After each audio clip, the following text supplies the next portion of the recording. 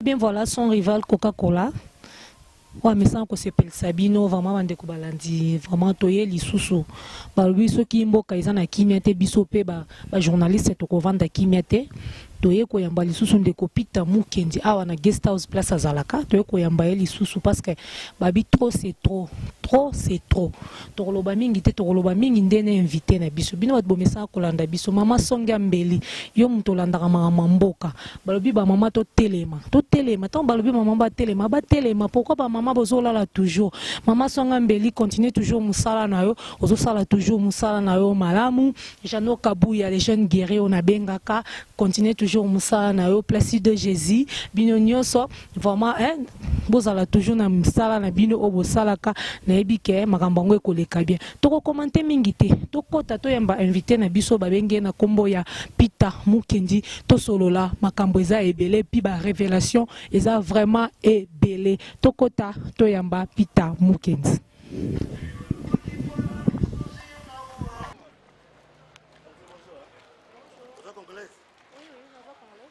nauti paris naoluka agence parce que nabaye baagence ya paris baretard trop okotinda lelo ekomi na bonane okotinda na bonane ekomi na elanga donc nabaye yango naye afrique du sud naluka oyebi agence avida oh, avida avida mokoluka mosika te avida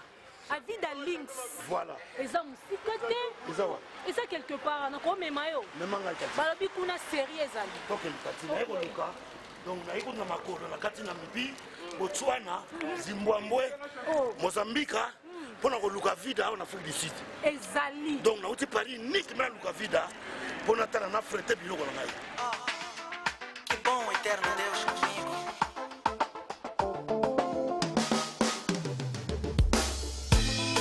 Elevo meus olhos na montanha de onde virá. Eh bien voilà, bandeko bamesana kolanda biso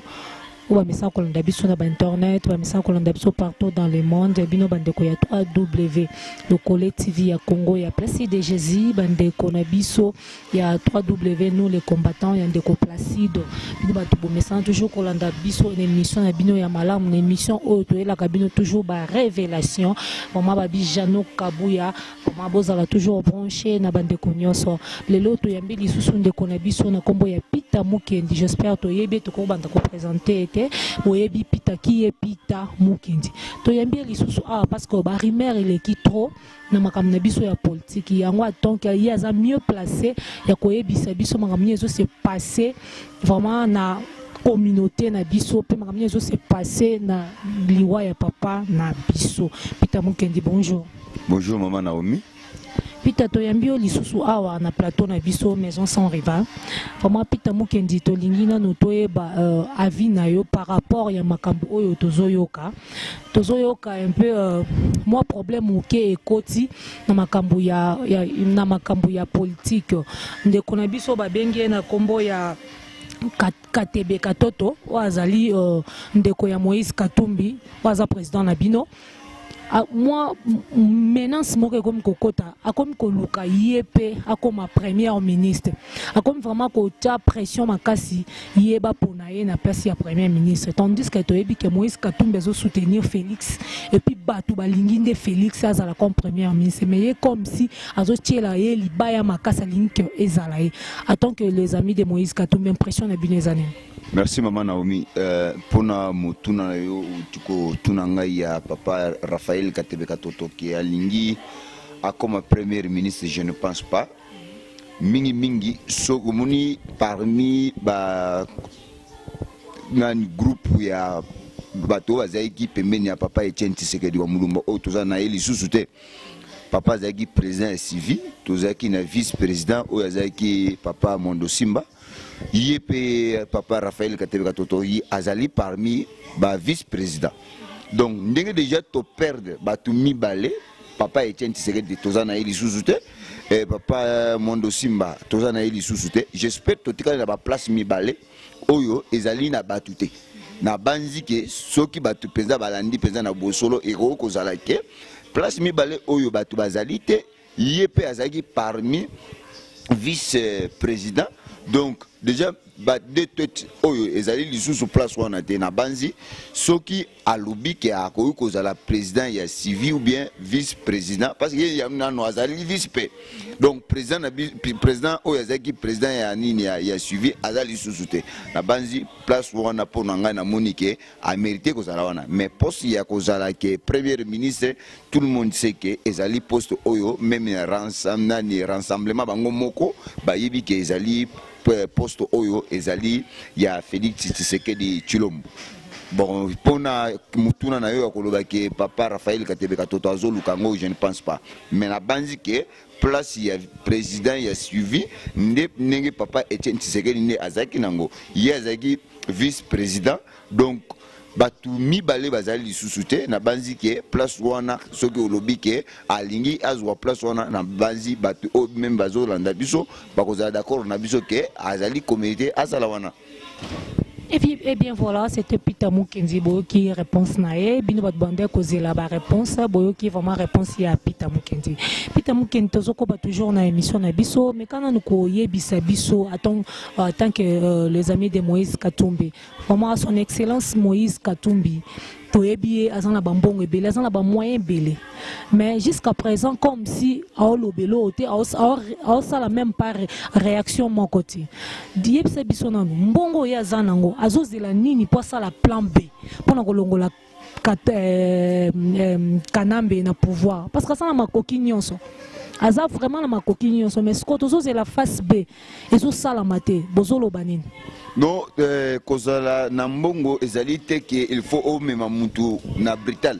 oyebi to depuis 2014 udps ezali kosenga e dialogue dialogue oyo ti eye kokoma ke ekuba nani to basa eh, nani rassemblement bapapa etienne tshisekedi wa mulumba asangisaki baopposant nyonso na congo oyo esalamakaki na nini na, na bruxelles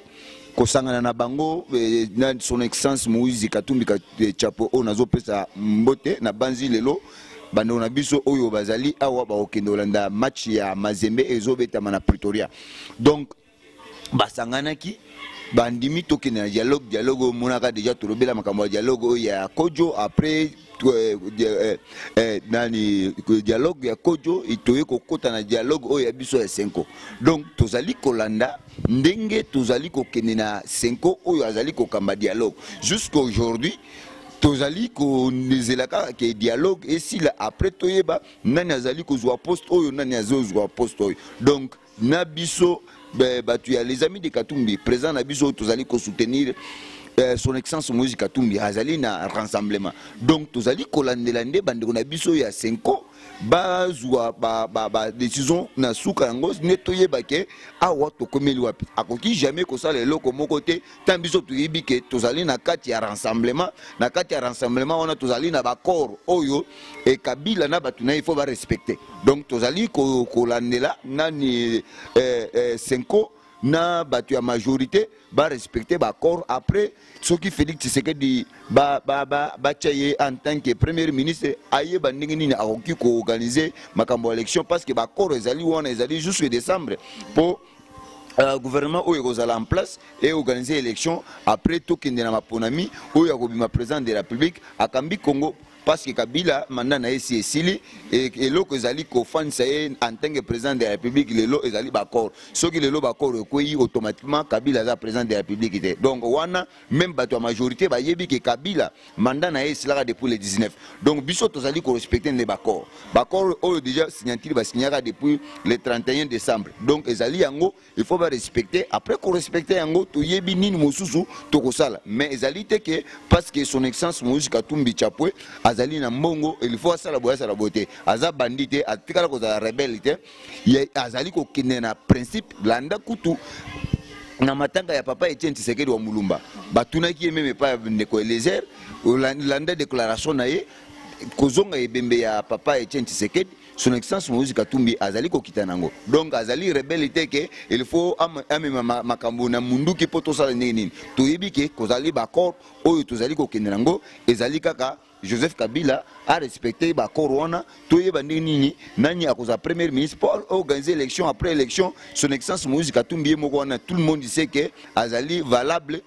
comme un candidat oyo mutu nyonso azali kosoutenir donc euh, mingi ya koloba ezali kaka ke bandeko na biso oyo ya majorité barespecteka nani baaccord après ça toyeba nini mosusu tokosala Eh bien voilà, Jeannot Kabuya esiko ozali outi koyoka ndeko na biso Placide de Jésus outi kolanda koma euh, ba réaction ya ndeko na biso Peter Mukendi hein? JBS le mannequin du média on est là toujours on est là hein? Big Mama Songi Ambeli vraiment makambo olobaki yango ezosalama ndeko Peter tozonga nanu na makambo ya kat tebe katoto dis-nous un peu supposons que lelo oyo que bapesi ye uh, poste wana ya, ya kozala ministre est-ce que akokoka kodirige mboka lokola congo parce que adirigea nanu te soki tolandi bien katebe katoto adirigea te moïse quand même déjà ça va adirigea déjà mais ye adirigea te supposons que lelo bapesi ye poste wana est-ce que akokoka kodirige mama naomi mba mosusu oyebi motu wana te papa raphael katebe katoto à l'époque ya zaïre soki omoni jekamine oyebi kadel soki katanga etelema ndenge katanga ezalaki c'était force ya raphael katebe katoto aza mutu soki toto soki nde nini te soki omoni katanga à l'époque ya zaïre etelemaka osanti ke jekamine oza na bana 12 bozali na 50 sac ya fufu e amini 12 ozali na 10 sac 12 sac ya fufu bozokendaka minoterie bozwi bafufu misu ya ngombe baprena thomson babiloko ebele ebele sete katebeka toto ozo comprendre il est capable kobosana kutu te ke azalaka candidat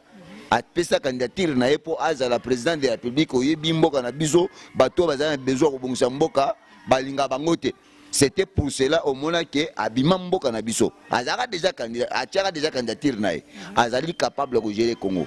aza capable ya kosala parce que eh, azali grand businessman na monde oyo toza na yo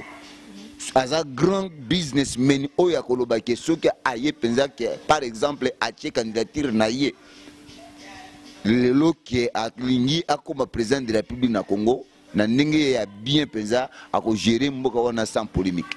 après bokomosantiri ke congo ezongi congo ya kala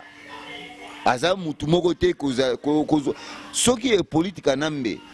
ayaka na congo en tant que rebelle lelo akoma président de la république mais motu oyo asala mbongo akoma milliardaire tala auti kodepense à peu près 60 milliards de dollars na Angola ba immeuble auti kotonga yebisa moto ya ndenge wana aza na amour ya mboka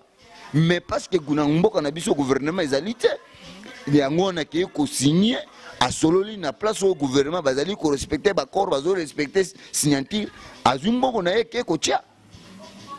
eza mbongo oyo ya kimuyibi te bato bazoyiba bazodonda yo moko outi komona mbongo ya biso ya bakongole ezali kobima na rdc ezokende angola ah, ezokende na nini na brazzaville ezali kolekisa ke bato oyo bazali wana bazali wana bakoma babusinessmen bakoti na monde ya politike mpo bayibaka bapiyaka kongo ce n'est pas ke tozali na bato moko boye oyo bazali na bwanya mpo na odevelope pays na biso te to na motuna na yo mpo na papa rafael katebe katoto wana sans polémique sans koloba soki nde nini te il est capable ya tout nyonso oyo ko lelo boye alobi ke azala président de la république akobongisa mboka wana dans quelque donc même pas nani manda moko kongo ekobouge mutu nyonso akobanda ozonga na kongo ke tokoma ozonga kongo mpo mboka na biso demokrasi ekoti donc eh, wana mpenza nabangelaka yango te parce que nayebi ke aza nani nayebi force na ye lelo na, na, na, na, na, na, na oyo tozali kobenga rdc te à l'époque ya zaire parce que ngai nayeba ye à l'époque ya zaire katanga ezalaki kobouge mpo na papa wana Eh bien voilà, papa Raphaël Katebe Katoto, souci ya peuple congolais, eza juste kaka tolongola d'abord Kanambe. Soki tolongoli Kanambe, imposter wana nde tokoyeba ndenge nini tokosala tant que bana Congo vraiment son excellence moïse katumbi bamoyen nyonso eza na maboko na bino peuple ezozelaka mot d'ordre mpo na kolongola kanambe mpo mapita mokendi dino un peu uh, ndenge uh, makambo oyo ezokoma ya liwa ya papa na biso tshisekedi ndenge ebembe ezoboya kokita mpo na gouvernement badi bango ezokweya te jusqu'à quand tokobanda kocontinue toujours kolela papa parce que gouvernement ezokweya te comme si balingi kokweisa gouvernement te supposons ke ekokweya te seke ebemba papa ekokita te ekokundama libanda mboka na ye tokoma mama naomi ezali pasi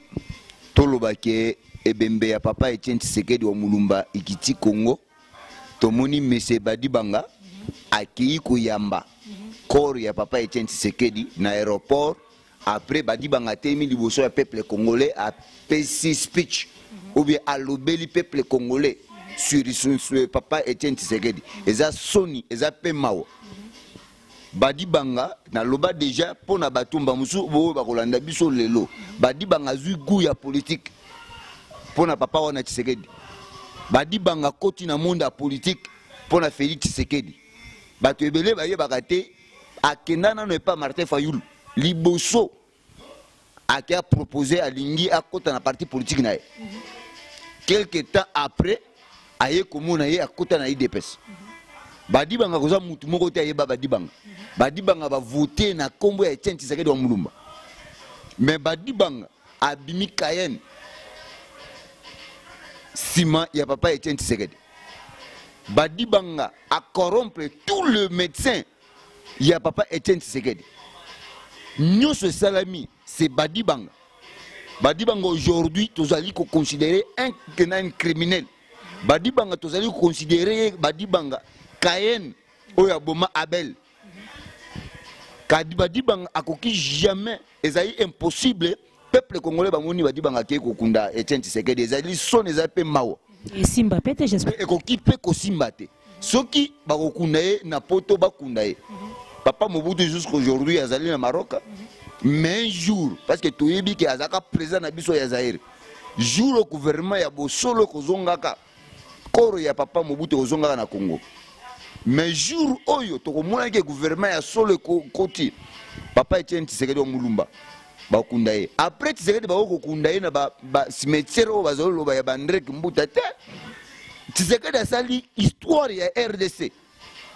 lelo tozali soyo na 500 parti politique na rdc eza grâce ya papa wana ezali ke bato wana ya bato ya majorité baza bademon bazombela makila peuple congolais bazali lisusu na, na, bom, na bomoto te c'est pour cela omoni bazosala biloko wana badibanga yoka deja na gouvernement na ye bato na ye babandi obimake mbongo ya koorganize na yango élection ezali te orke badibanga soi disant bazwaki ye banomaki ye batiaki ye place azali fo aorganize élection koti ayoki gu ya mbongo omoni ndenge nayebi te so tokolobaki ezali barwandais nde bazoboma congo ou bien ezali ka biso moko bakongolais nde tozoboma mboka na biso selon yo eza banani baoboma congo mama barwandais bazali na, na, na, bazali na politike na bango oyo bazali kosala mais bazotize le peuple congolais mm -hmm. ba rwandais ne bazalaka wana bakoki jamais kosangana ba congolais bakota na ba réunion na bango basala makambo na bango basalaka basalaka oyo bakoki kosala basali baplan na bango bapesi baplan wana bautilize nango bacongolais parce que bayebi congolais liboso ya mbongo abimaka lokola mosa ndumba na congo nayebi te soki tozali na bapoliticien na majorité wana nde bafandi wana bazali na landa meme eh, eh, eh, nani zakari zakari alobi bayebaka déjà ke élection ekosalemaka te ozo comprendre donc bango nde bakotaki na pouvoir balobi ke élection ekosalemaka te tosala tout nde tozwa mwana ya etienne tshisekedi tokomisa ye wana donc bazalaki déjà na esprit mabe nsima na bango ya koloba ke tokoorganisaka te élection yango wana soki bomoni lelo son excellence moïse katumbi alongwa na majorité parce acomprendaki bato wana baza bademo baza na vision ya malamu te vers peuple congolais donc na mokuse ezali ke bato wana bazali bato oyo bazali komerite te yango biso tozali kosenga kaka ke senko badecevoir peuple congolais te mhm. basala mpe noki bakor na bango oyo bazali kosala esila parce que tokozela jusqu'à quand badi banga longwa na bato na ye basi baboma tshisekedi azwi mbongo apesi bango ye azwi mbongo barwandais bautilize ye ye abimi parce que bayebaki déjà ke mutu oyo ayebi tshisekedi bien se badibanga c'est pour cela badibanga lelo azali pembeni ya hippolyte kanambe badibanga arécupere le médecin ya papa etienne tshisekedi wa mulumba acorrompre bango na mbongo basali oyo bakoki kosala mais oyo ye asali ayeba kaka ke aza na se ya mokili ekobalukelaka un jour ye mpe bakosalelaka ye soki basaleli ye te ayeba meme ata na libota na ye parce que aza na makila ya tisekedi na maboko na ye makila ya tisekedi ekoganga liboso ya bana na ye makila ya tisekedi ekoganga liboso ya mwasi na ye bana na ye bakobanda olala bazomona tisekedi parce que nyonso esalami se badibanga badibanga akoki jamais kokunda tisekedi so kokunda tisekedi na bruxelles bakunda ye mais un jour toyebi ke kongo ekobonga tisekedi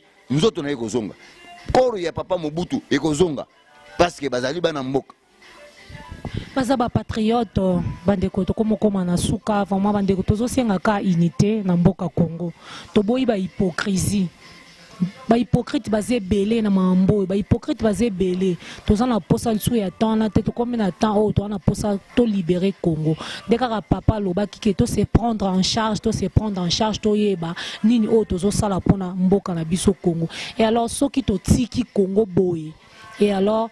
bainfiltre bakokota lisusu Mwa bandeko balandi tokomi na biso na suka ya emission na biso na ndeko na biso Pita Pita juste un mot de la fin et puis na bambote na opesi na nani Uh, mwa maloba mosusu nalingana naloba na, na epai ya bandeko na biso bakongole oyo balandaka biso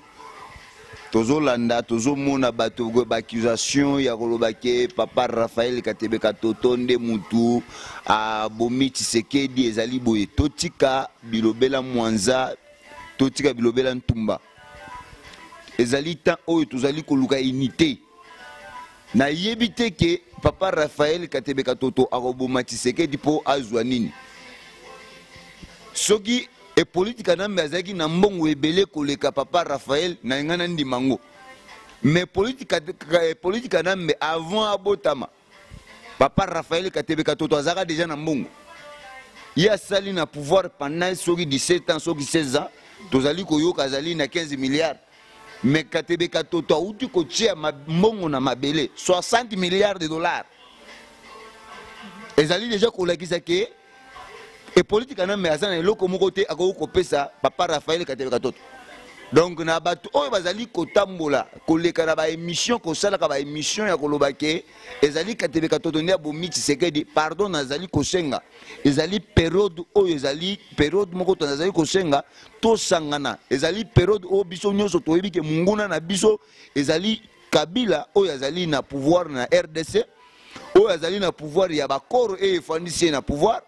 bamende wana boshabo lelo lisusu tozoyoka ye lisusu te abimaka yanke nayebi te soki akozonga lisusu na université akende opesa bacour cour oyo azalaki kopesa mai ye moko azalaki incapable ya kodefendre makambo azalaki kopesa baétudiant mais aujourd'hui na pouvoir oyo ya epoliti kanambe aza lisusu te akomi mwana bitike donc bientôt là ye azali na dossier ya 400 400 425 peuple congolais oyo bakufaka oyo bakunda na nani na malukwa donc dossier ya malukwa ezali boshab oyo azalaki ministre ya interieur ntango gouvernement ya solo ekokota nani boshab akokangama akosala prison na ye mende ayebi ke ye en tant que ministre ya communication na congo azalaki koyeba makambo nyonso wana baza bato ya buloko andre kimbuta en tant que gouverneur ya kinshasa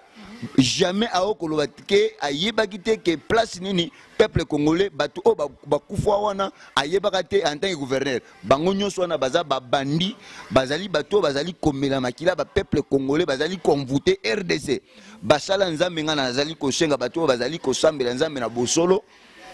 bosambela nzambe mpo na kongo na biso e-, ekende liboso makambo oyo nzambe azali kolakisa bino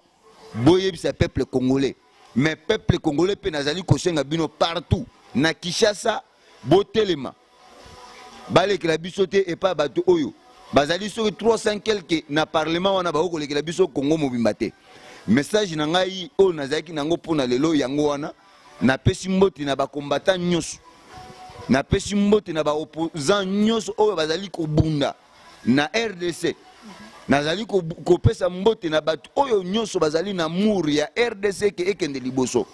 pourkoi pas nabosana bino bato oyo boinvite bo ngai na mboka na bino awa na johannesbourg napesi ndeko na ngai boketswa yambo parceke nazali, nazali nayebi azali na posa ya kozonga un jour mboka na ye son excellence moïse katumbi napesi ye mbote na entourage na ye mobimba merci merci na bandeko nyonso bauti kolanda biso merci na bandeko ya alliance merci na président fanfa longa merci na mama bijou mpe bato bauti kolanda biso merci na son excellence moïse katumbi merci na ye moko papa katebe katoto merci na bino na baentourage na bino merci na tous les combattants le vrai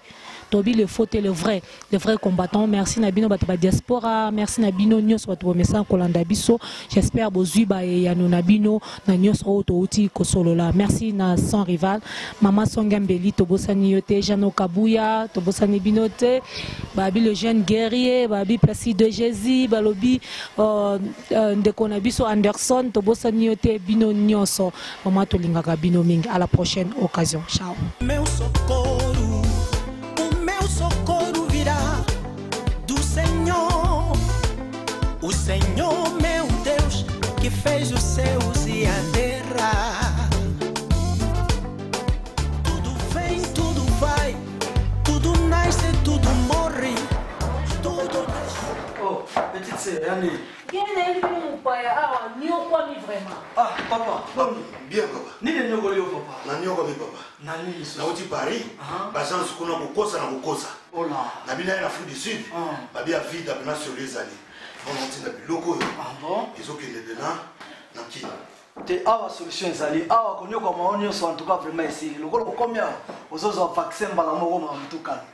Kitoko ba yango.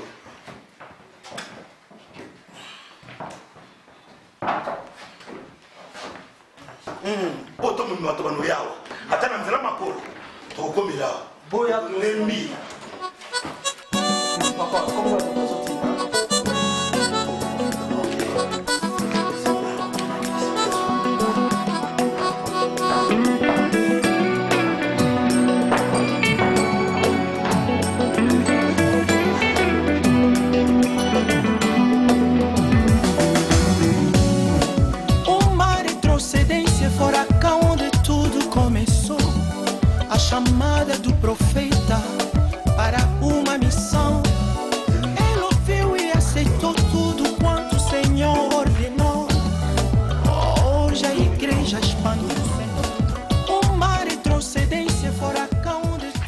bana monde atie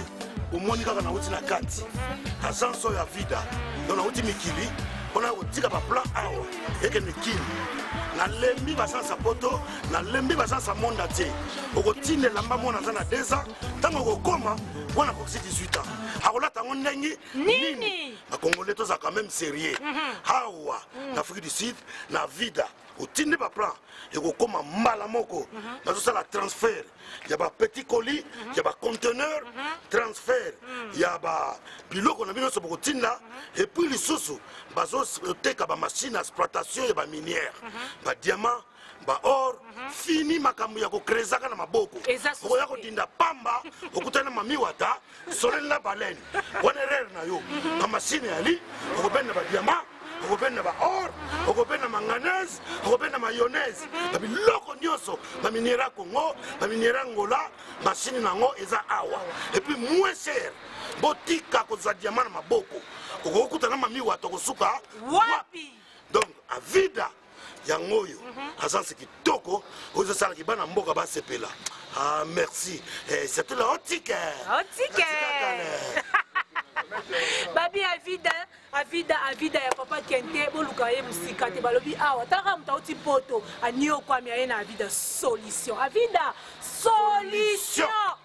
agence ya vida transfert toti na mbongo ntina ngola partout na congo congo mobimba lubumbashi partout na belgique na nigeria eza place ya kobunga te awa na jobour oyekaka na avenue mula mhm. numero 34 okomona mpena agence ya vida eza wana mhm. donc la bible nous dit loboko epesaka